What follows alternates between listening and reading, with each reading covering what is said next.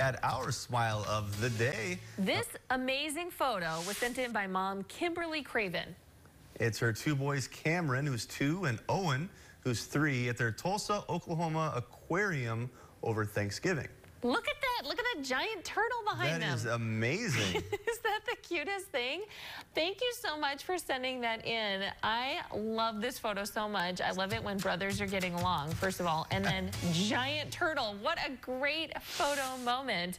And please send in your smiles to studio701 at kxnet.com.